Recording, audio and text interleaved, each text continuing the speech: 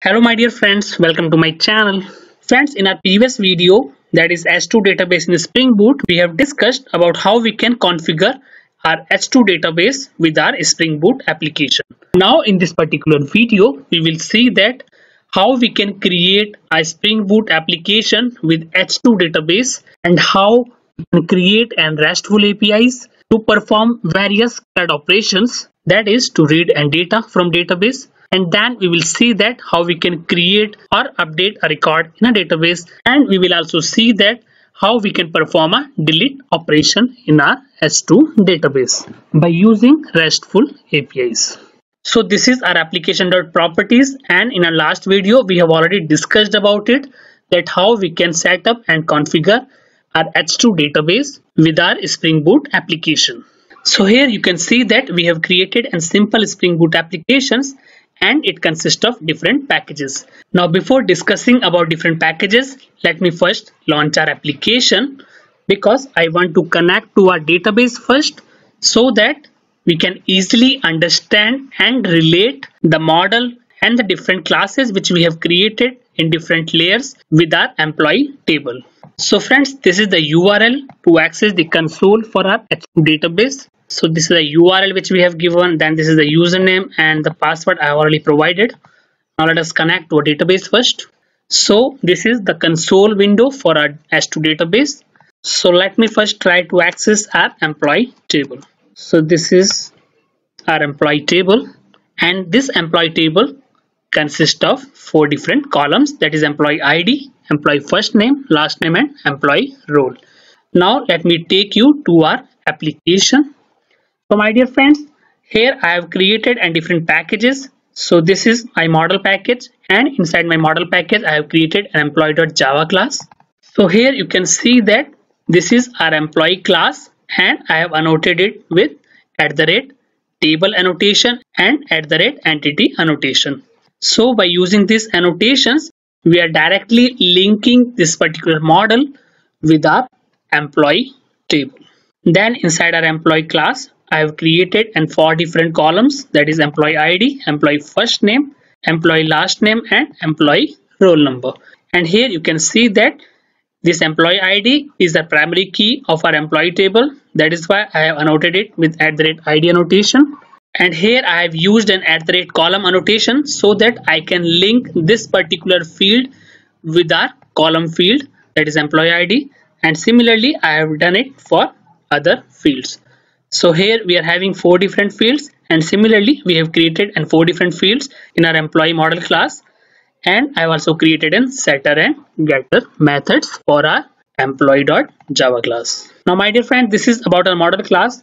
Now friends let us discuss about our controller class and from there we will see that how we can access the service class and from service class how we are accessing our DAO layer. So this is our employee.controller class this is an REST controller for our Spring Boot application and here we have defined and different endpoints for our employee controller class so that we can perform various operations on our employee table which is present in our database. So my dear friends, this is our employee controller class and here I have annotated it with at the rate REST controller and then the request mapping which I have given is slash programming with Chetan. And my dear friends, as you already know that our server is listening on 8080 port so from Postman application, when we will try to access our APIs, then this is how we will provide the URL to access the APIs.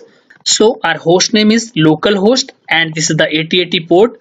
Then for our employee REST controller, we have used and request mapping as slash programming with Chetan. That is why I have provided in programming with Chetan here.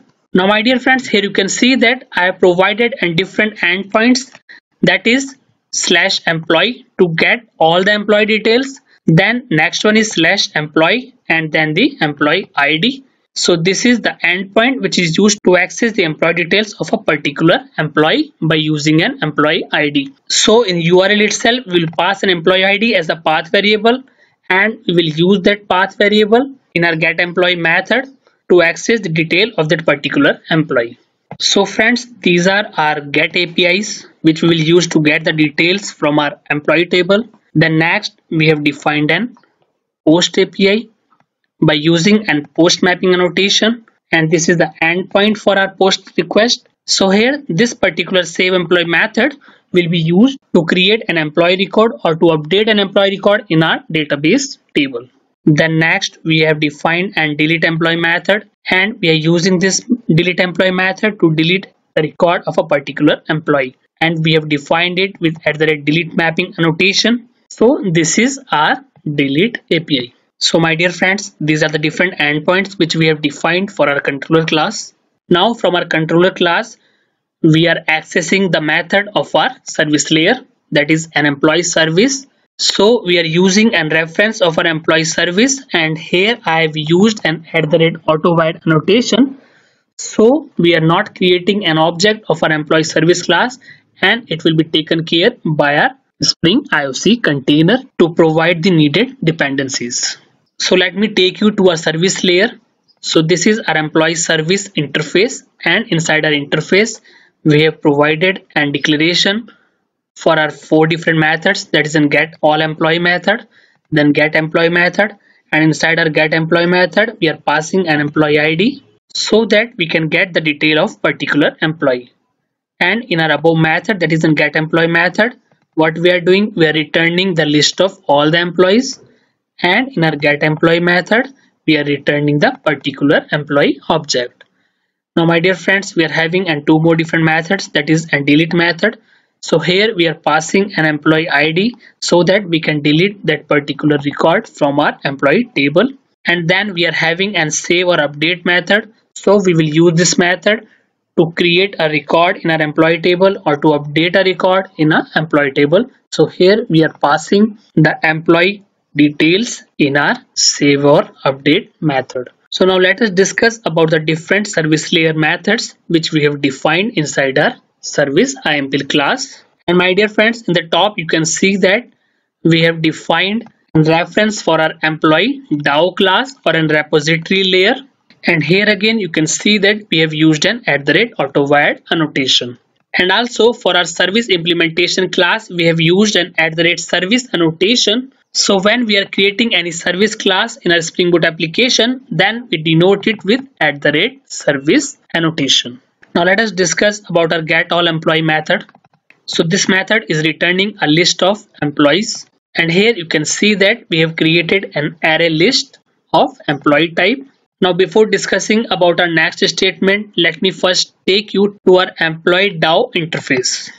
So this is our employee DAO interface and my dear friends, we have not defined any implementation class for our employee DAO because we are using an CRUD repository methods which is a predefined methods provided by our Spring framework. So we are making the use of available ready-made methods. So if we go inside our CRUD repository interface, then here you can see that we are having an save method so we can pass the entity and it will be saved in a database.